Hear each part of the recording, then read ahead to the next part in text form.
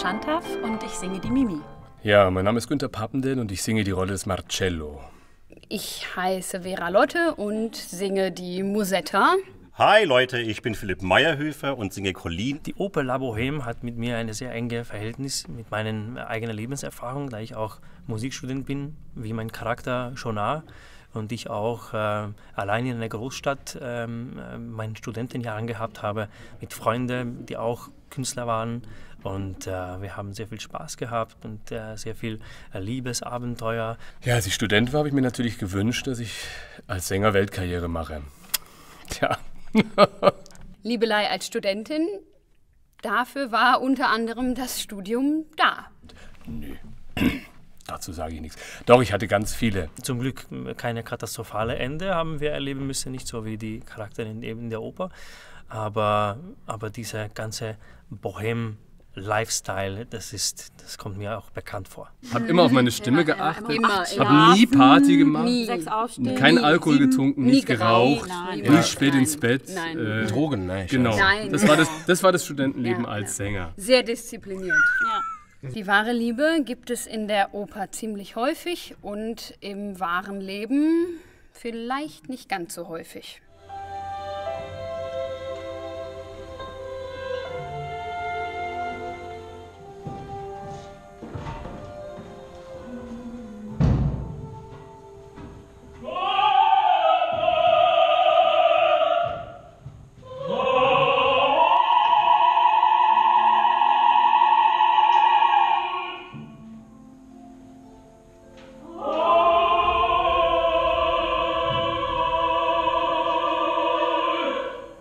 One of the biggest challenges uh, to do La Boheme is that you are confronted with an audience who are watching your production with memories, associations, um, uh, or judgments of previous La Boheme productions in their head. So everyone thinks that's the Mimi that I love, that's the Rodolfo that I love, and that's the Cafe Momus that I love. And the challenge is not to destroy that for people, to say that's irrelevant. Uh, you know, the opera's about this actually. Because with Puccini, as in his other operas, as in Tosca and as in Fanciulla, you really are confronted with a composer who is so aware of the theatrical possibilities of opera, who is so aware of writing into his music mise en scène, who articulates not just so many colloquialisms and everyday expressions and dialogues, but also directs you in the music. He gives you, someone says, I would like this glass, and then Puccini gives you three bars of not sung music so the character can go and give that other character the glass or that object. Puccini shares with Janacek, and I think the two of them were, were very different in their uh, musical landscapes, the sound of the musical landscapes, but they share one very important uh, thing, and that is that they both listened to the rhythms of everyday dialogue and conversations, how people talk, and they took this and heightened it and, and, and, and, and developed it and transformed it uh, through song into something which sounds like conversation and dialogue, but isn't. And you are not even aware of it. it it's a genius.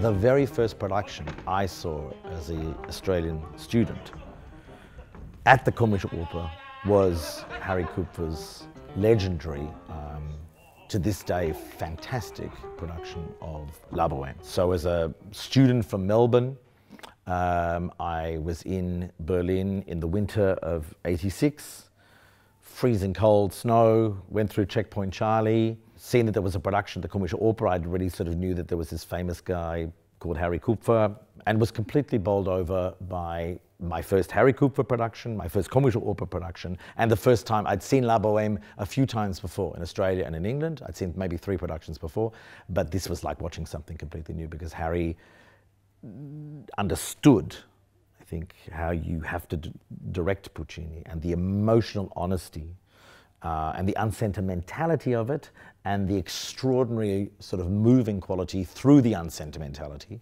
um, left a huge impression on me. If I imagine then that over 30 years later I would not just be directing uh, La Boheme at the same theatre that I was sitting at then, but also running the Komische Opera, um, um, I would have laughed. And so it's a very special thing for me to be able to then do La Boheme on the same stage that I experienced Harry's production in the same week that he returns to the Opera House after so many years to direct um, a Handel opera, Poros, with us in the same week that we premiere uh, La Boheme. So I think the theatre gods have decided that this constellation of my production and Harry returning back to do production of the Komische Opera after nearly 20 years, um, I think it's a good way to begin 2019.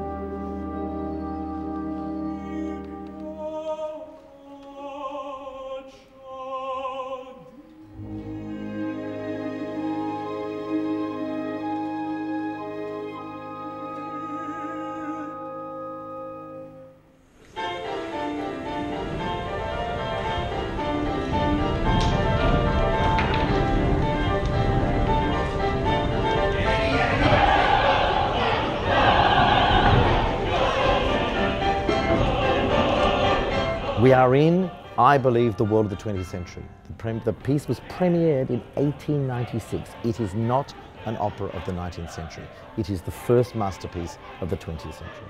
It has more in common with the psychological and emotional landscape of Wozzeck than it does with what happened in the 19th century. La Boheme is not Wozzeck in any shape or form, but the radical transforming of the architecture of music theatre and the way in which characters express themselves was opened, I believe, by Puccini with this piece. Even the opening few bars signal something which is unlike any opening of any 19th century Italian opera. Die Mimi ist meine Traumrolle. Ganz einfach. Und ihr seid dabei. Kitsch tatsächlich. Ich singe es jetzt zum zweiten Mal und äh, da ändert sich dann die Wahrnehmung. Inzwischen denke ich, es ist ein fantastisches Meisterwerk, was überhaupt nicht kitschig ist. I think Bohème is, an un, is one of the few successful attempts to really bottle and cultivate youthful vigor and energy and the, the creative energy of youth. And you think from the explosion of the first measures that eternally sound fresh. This music was new 100 years ago and it will forever be new because it's, it's like the window into the imagination of a great creative mind. There's sparks flying and it's, it's you know this kind of verve, youthful verve that he captures and that has a momentum through this entire piece is unbelievable. When you're young and you see it, you relate to it. That's me. She's me. I'm Mimi. I'm Musetta. I'm Rodolfo. I'm Marcello. Or I'm a bit like Colline. Whatever, whoever you want to uh, project onto. And then when you're older, you look at the piece as a memory, as something which happened, as something which is over, as something that passed, as a, as a, as a slightly hazy, not nostalgia, but as something that was about a lost youth, a lost time. So you watch it, but you experience it in a very different way, which is why young people love it and old people love it, and, and, and it has such an emotional uh, connection with a wide range of audiences. And essentially, for all the idea that the piece is about youth and the piece is about um, these young people finding their way through love, the, the basis of the, the opera is about death. It's about what happens when you are confronted with the first time, or for the first time, uh, with death, when it comes literally into the room. And it doesn't come in the shape of ghosts, like in the 18th and 19th century. It doesn't come in the shape of a long suffering um, 19th century Verdian woman who must suffer or is compelled by sort of social or political forces or religious forces uh, to suffer and die. It's not the Wagner woman's death as male redemption. Nothing to do with this. Literally, here is a cold room in which a woman who has been uh, for a few weeks living on the streets because she's been rejected by her latest lover, coming back to the room where she met this young man a year before to die in real time. Krank sein? Der Albtraum des Sängers. Steckt mich ja nicht an. Steck mich ja nicht Absagen. an. Genau, absagen. Albtraum, Terror. Äh, Meine Karriere ist vorbei. Wie soll ich sagen? Zweimal die Grippe in einem Jahr? Antibiotika. Antibiotika. Ohne ein, Gesund singen kann jeder.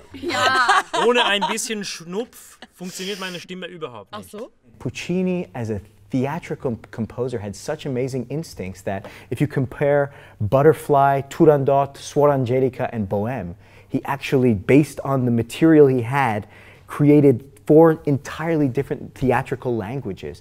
And the one of Bohème I find the most uh, captivating in that he found this kind of mixture of light lyricism and banality that it's almost half a conversation piece, and the rest of it is not full blown uh, Italian lyricism, but here it's really this kind of intimacy, theatrical intimacy, that is so rare. You can see that he was influenced by the great French composers. Massenet has a stamp on this piece. I don't know if we'd have the first aria, mi chiama without Manon, for example. Um, Falstaff, I think, had a big impact on the humor and the lightness that he's able to find because there's a great tr- Italian tradition of this, but this has nothing to do with Rossini. This is coming from the school of Boito, of, of, of Verdi, and it's incredible. If you take the Benoit scene, so imagine, the, imagine how uh, every day a scene could you have. The landlord, you haven't paid rent, the landlord comes and knocks on the doors. You've been waiting for him to show up. Like, damn it, today's the day.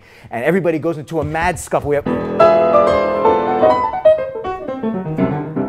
that's opera music. That's, oh God, what the hell's going to happen? It's chaos. And then what does he do from there? The kind of typical Puccini sleight of hand. Only he could turn the temperature in the room totally different in, in, in two seconds. M- Marcia says, Hola!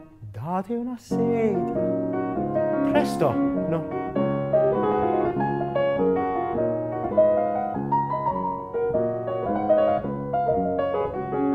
There's a charm to this music, and they're saying, hey, sit down, have a drink. I gotta go. No, you don't have to go. Sit around. How did he find such a charming way to capture something that's totally routine? I think that's the magic of Bohème that we forget is that it's actually not really an opera. It's like the greatest musical ever written. About the same time that the opera is set was the birth of the daguerreotype. The daguerreotype was the very earliest form of photography invented in Paris. It really then, of course, started the entire revolution of how human beings, the image of human beings, was represented two dimensionally. So this capturing of a soul or this capturing of a memory. Uh, the production is not a documentary about 19th century French photographic techniques, and it's not a, it's not a documentary about how to make daguerreotypes. But by making Marcello um, a photographer, it gives me a few moments where we can actually sort of feel. And the daguerreotypes are very beautiful because they actually fade. Uh, this process in which light and mercury and glass and silver um, sort of burn through, through natural light together, it was an extraordinary process. Uh, and of course, then they fade. And there's something very interesting about the idea of a two dimensional, an object that was intended to, to capture memory fading as well. And there's something interesting about is the photo a capturing of the element of the soul at that moment. And this was the starting point for me. So we decided to place the production in a sort of very abstracted 19th century world with real people. We didn't want to make it historical. I'm not interested in historical realism. It's yesterday, this story. As in all my productions at the Komische Opera, I create them for essentially my ensemble and the people here. And we have very long rehearsal times. In the case of La Boheme, we have eight weeks, which is a luxury in an opera house, to really investigate this piece and to go back to the score. La Boheme is the first opera I ever saw when I was very young, and it gave me a great love for opera. So I'm very glad to be a part of this cast.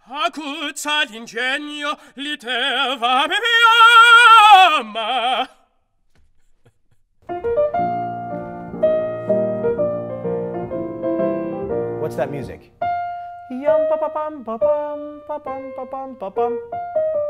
My daughter wrote a song just like that the other day. Then you take, okay, Sono Andati, the fourth, uh, last hour of Mimi.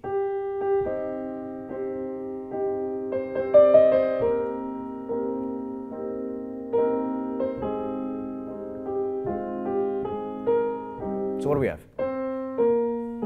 So another descending scale. Uh, how about Musettas?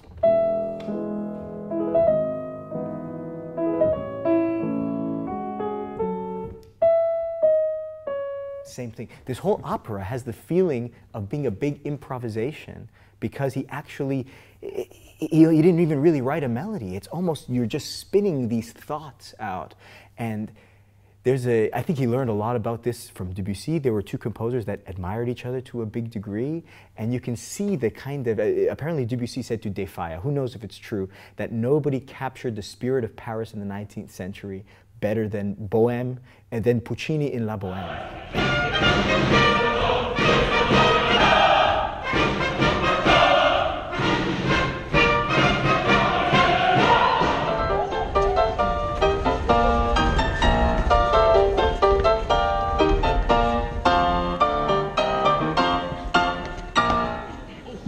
Oh, good. That's a good jump, Nadia. Good. So, super. Nadia, do that. Ähm, very good. Sehr gut, meine Damen und Herren, Co-Solisten und Statisten. Das ist, was ich brauche.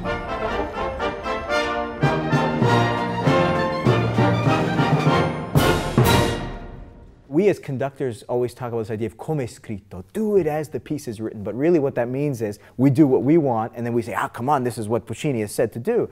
But coming back to this piece in a new production, and we take, take a scene like the, um, when Rodolfo and Mimi first meet each other. That coming in, there is a kind of unassumed quality compared to the entrance of Butterfly, you know? So operatic, unbelievably beautiful, but really, beautifully sung, unbelievably lyric, but you know, you still feel where she's going to be by the end of the first act. Then you come to Mimi. So here is sitting Rodolfo. His friends have gone to the bar already, and here he is saying, I got to finish this article. I'll be there in a minute. He's, got, he's looking for inspiration.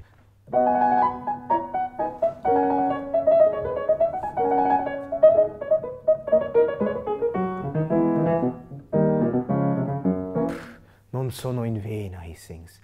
There's a knock at the door. Chi è là? Scusi, una donna. Grazia. Banal conversation happening above. Unbelievable music. The orchestra is already aware of something that they're not conscious of yet. Vorrebbe s'accomodi un momento. Non occorre. La prego. Entri. It's a dialogue, it's a totally banal dialogue happening under this only a kind of soupçon, just the air, the, the duft of this inspiration is already coming. And I think that's amazing that to come back to the score, next thing to happen. Si sente meglio sì, qui c'è tanto freddo, secca vicino al fuoco. Aspetti un po' di vino, grazie a lei. To make this romantic, I think, robs us of the, the innocence, the kind of awkwardness of this first meeting. There's a poetic, casual character to this music that it's such a pleasure to come back and rediscover in the score. Schnell, ohne, Ja. ohne Verzögerung in den Dialog. Keine Ouvertüre. Hm. Vollgas ins Drama. Was noch? Modern. Ja, das ist modern.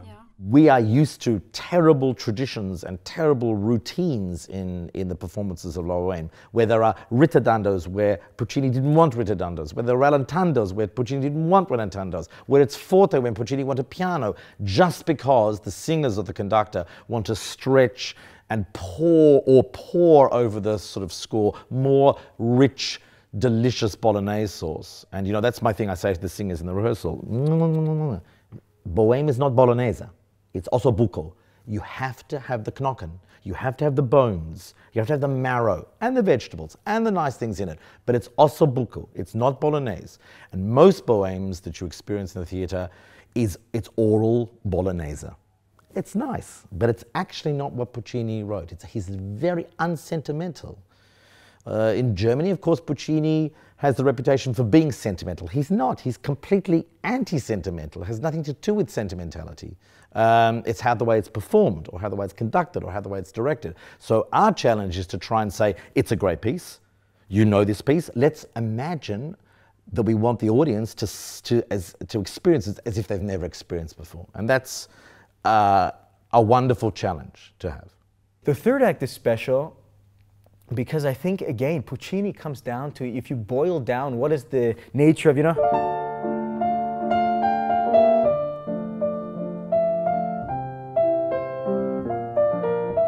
which, by the way, breaks every rule of music. It's like power chords. This is the most simple means. It's just. That's, that's the whole nature of that music, but it's the idea of the heart in conflict with itself that pulses through this whole act. There's a momentum to the words, the end of this, that I think I find thrilling, the third act, to go through this because we've kind of set the stage with the Jahrmarkt, with all of these sleights of hand we've seen up till now, and now it's time to get to the kind of, uh, you know, center of this drama. And he finds again a simplicity of means through the whole time. Themes sometimes don't develop at all. You hear the theme that accompanies Musette, it rarely develops. Mimi's theme develops. By the time you hear her coming in at the end, you know we- we're not where we began. But again, he does it with such a simplicity of means that it's almost disarming that you you don't realize that eh, he's taken away that barrier anymore between the subject and the treatment of that subject. It's just all in the air.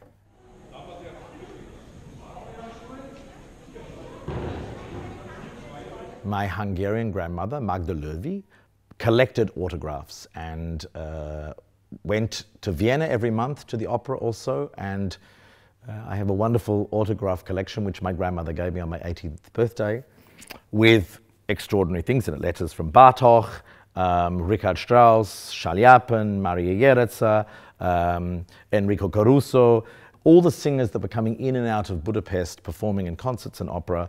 It's like a record of their time in Budapest. But the most prized possession of my grandmother's autograph collection was when she wrote, uh, as a young woman, to uh, Puccini for an autograph.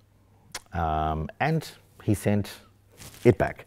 Uh, what's amazing is that he sent it back uh, with a, his own handwritten envelope here, but also a photograph of him, which he has signed here, Giacomo Puccini, but his own signature, Maddalena Lervi, my grandmother, Viareggio, 8th of October, 1924, Giacomo Puccini. Whether Puccini would be happy with my productions of his operas, who knows? Um, I don't really think about that, but it is, yeah, it's a very nice thing to hold in your hand, and he's sort of a guiding spirit to our production.